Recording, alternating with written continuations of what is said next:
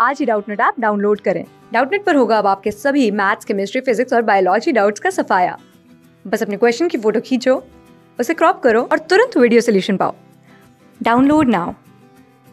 Question में यहाँ पे हमसे पूछ रहा है कि एनवायरमेंटल फैक्टर्स बताइए, जो कि कैरेक्टराइज करते हैं हैबिटेट को इकोसिस्टम के, ठीक है? तो अब एनवायरनमेंट के अंदर हमारे क्या क्या प्रेजेंट होंगे? लिविंग नॉन लिविंग सब प्रेजेंट होंगे। अब उनमें से इकोसिस्टम के हैबिटेट को कौन कौन कैरेक्टराइज करता है वो हमें बताना है। तो शुरू करते हैं इकोसिस्टम से। इकोसिस्टम लिखते ही माइंड में आता है कि ये बेसिकली एक बायोलॉजिकल सिस्टम है। बायोलॉजिकल सिस्टम है। जिसके अंदर क्या हो रहा है? जिसके अंदर जो हमारे लिविंग ऑर्गेनिजम्स हैं लिविंग ऑर्गेनिजम्स हैं, ये मतलब ये बायोलॉजिकल सिस्टम बना कैसे है? इंटरैक्शन से बना है और ये जो इंटरैक्शन मैं कह रही हूँ, ये इंटरैक्शंस कौन सी इंटरैक्शंस हैं? वो इंटरैक्शंस जो हो रही हैं लिविंग ऑर्गेनिजम्स के विद इन मतलब इनके आपस में भी इंटरेक्शन हो रही है और और कहा हो रही है?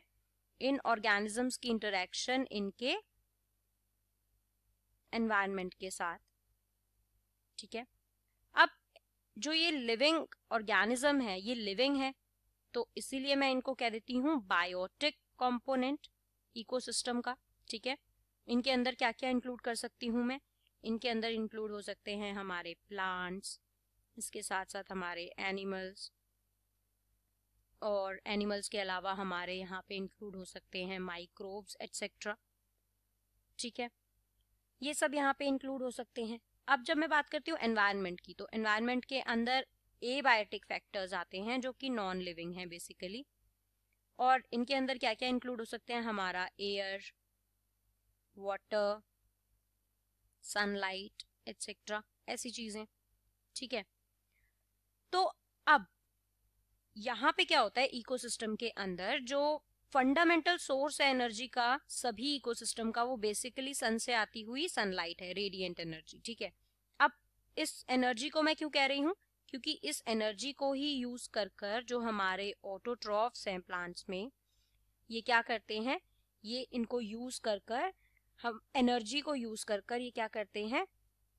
स्टोर करते हैं अपना फ़ूड बनाकर सिंपल कार्बोहाइड्रेट्स के अंदर, ठीक है? और फिर ज़्यादा कॉम्प्लेक्स ऑर्गेनिक कंपाउंड्स बनते हैं उससे, ठीक है? तो एनर्जी का फ्लो जो है, वो पूरे इकोसिस्टम के थ्रू न्यूट्रिएंट की मूवमेंट कर रहा है, ठीक है? इकोसिस्टम के विद इन तो अब इसके साथ साथ क्या होता है? फिर डिकम्पोजर्स आते हैं, वो भी बहुत अच्छा रोल प्ले करते हैं इन सब साइकिल्स के अंदर, जिसमें न्यूट्रिएंट जो है, वो सॉइल वाटर एयर यहाँ से वापस आते हैं और फिर वापस इनके अंदर ही वापस चले जाते हैं, ठीक है? तो अब यहाँ पे क्या हो रहा है कि इस वजह से उस रिसोर्स को उस जैसे सनलाइट आ रही है, ठीक है, उसके बाद यहाँ पे हमारा न्यूट्रिएंट आता है सॉइल में वापस चला जाता है। तो इस साइकिल से क्या हो रहा है कि वहीं से लेके वापस जा रहा है, जो रीयूज होता है बार बार हम उसको यूज़ कर सकते हैं, ठीक है? और कौन यूज़ करता है? बायोटिक फैक्टर जो भी है इकोसिस्टम का यहाँ पर, ये ऑर्गेनिजम्स यूज़ करते हैं एनवायरमेंट से लेकर एंड वापस एनवायरमेंट में ही दे देते हैं।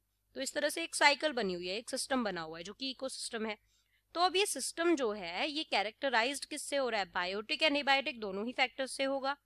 तो यहाँ पे अगर मैं बात करती हूँ option one abiotic component option two biotic component तो यानी कि यहाँ पे ऑप्शन वन एंड टू दोनों ही सही है तो ऑप्शन थर्ड हमारा करेक्ट आंसर हो जाएगा।